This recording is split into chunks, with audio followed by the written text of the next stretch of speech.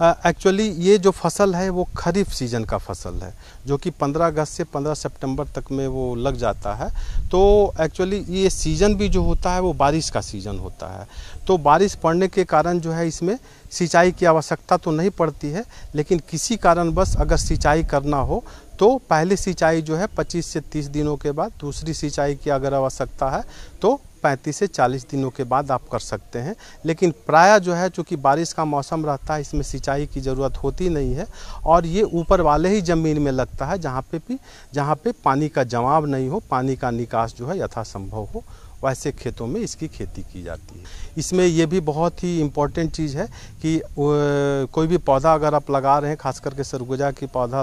की बुआई कर रहे हैं बीज की तो इसमें उर्वरक जो है, आप प्रति हेक्टेयर जो है 25 किलोग्राम यूरिया 45 किलोग्राम डीएपी और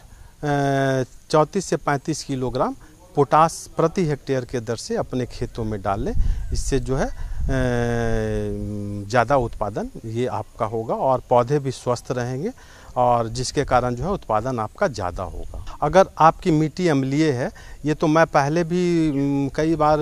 प्रोग्राम में मैं बता भी चुका हूँ किसानों को कि जब भी आप उर्वरक या दूसरे चीज़ों का प्रयोग करते हैं तो आप अपने खेत की मिट्टी को जाँच ज़रूर करवाएँ। ये भारत सरकार एवं राज्य सरकार द्वारा योजना भी चल रही है कि आप अपने खेतों की मिट्टी को जाँच करवाएँ और उसमें जो उपलब्ध पोषक तत्व आता है और जो आपका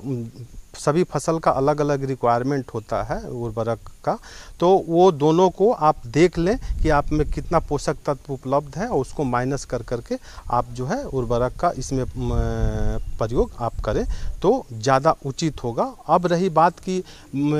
झारखंड की जो ऊपर वाली जितनी भी झारखंड की है मैक्सिमम मिट्टी जो है अम्लीय होता है। तो अम्लीयता से, अम्लीय से जो है न्यूट्रल करने के लिए किसान भाई से हम ये अनुरोध करेंगे कि प्रति हेक्टेयर जो है, जो बुझा हुआ चूना जिसको डोला माइट भी बोलते हैं डोलामाइट का उपयोग जो है अपने खेतों में करें और तीन से तीन से चार क्विंटल प्रति हेक्टेयर के दर से अपने खेतों में डालें ताकि जो है, अगर आपके खेत में अम्लीयता रहेगा तो जो भी पोषक तत्व आप ऊपर से देंगे या आप के मिट्टी में जो उपलब्ध पोषक तत्व है, वो पौधा ग्रहण नहीं कर पाएगा, जिसके कारण जो है पौधे में बढ़वार नहीं होगा, उसका स्वास्थ्य ठीक नहीं होगा, इसके कारण से जो है, जो उपज चाहिए वो उपज नहीं मिल पाएगा। हाँ ये भी एक, चूँकि ये खरीफ सीज़न का मौसम है और खरीफ सीज़न में जैसा जानते हैं, बारिश होने के बाद काफ़ी खरपतवार का प्रकोप हो जाता है इन फ़सलों में तो उसको दूर करने के लिए सर्वप्रथम दो बार इसकी निकाई गुड़ाई करना चाहिए, जिसमें 30 से 35 बार और दू पच्चीस से 30 दिनों के बाद और